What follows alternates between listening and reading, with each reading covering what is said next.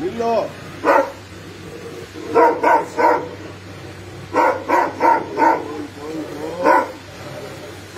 Okay okay surrender okay surrender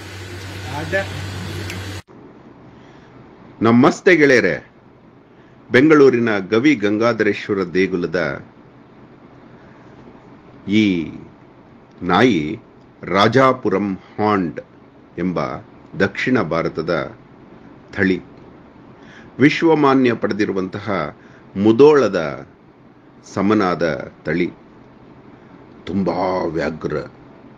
ವ್ಯಾಘ್ರಗಳನ್ನೇ ಹಿಮ್ಮೆಟ್ಟಿಸುವಂತಹ ಸಾಮರ್ಥ್ಯ. ಈ ನಾಯಿಯ ಬಳಿ ಹೋಗುವವರಿಗೆ ಎರಡು ಗುಂಡಿಗೆ ಬೇಕು. ಆ ಮನೆಯ ಜನರಿಗೆ ಮಾತ್ರ ಗೌರವ ಕೊಟ್ಟು ಯಾರನ್ನೂ ಹತ್ತಿರ ಸೇರಿಸದ ಈ ನಾಯಿ, ನೋಡಿ ಹೇಗೆ ಅಧೀನವಾಯಿತು. ಪ್ರೀತಿಗೆ.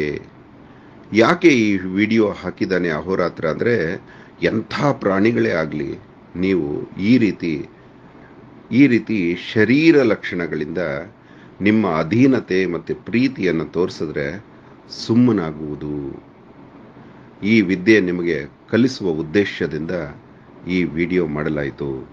ಧನ್ಯವಾದ. ಅಹೋರಾತ್ರ.